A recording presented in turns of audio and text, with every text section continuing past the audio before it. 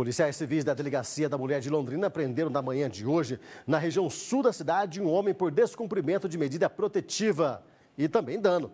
Edson Neves, o mandado foi expedido pelo Estado de São Paulo, é isso?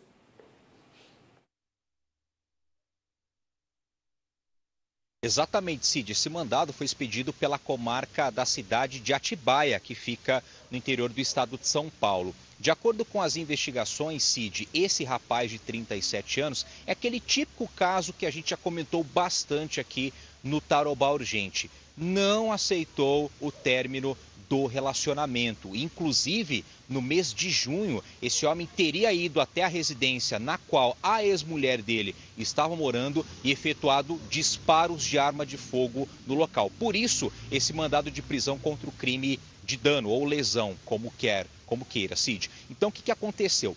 Essa mulher, por causa do medo do ex-marido, ela se mudou para o estado de São Paulo e mesmo assim, Cid, esse cidadão foi até lá, descobriu onde essa mulher morava, foi lá tocar o terror. Por isso, então, descumprindo a medida protetiva que tinha sido instaurada contra ele. Devido a isso, esse rapaz continuou morando aqui em Londrina, só que a justiça lá da comarca de Atibaia, no interior de São Paulo, expediu esse mandado de prisão contra ele, fez a comunicação com a delegacia da mulher e foi cumprido então esse mandado na manhã de hoje, viu, Cid? Ele já foi então entregue ao Departamento Penitenciário do Paraná e agora está à disposição da Justiça.